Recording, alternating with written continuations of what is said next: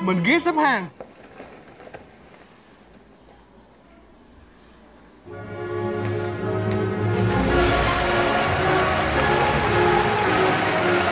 Là ngân hàng số thì không phải xếp hàng.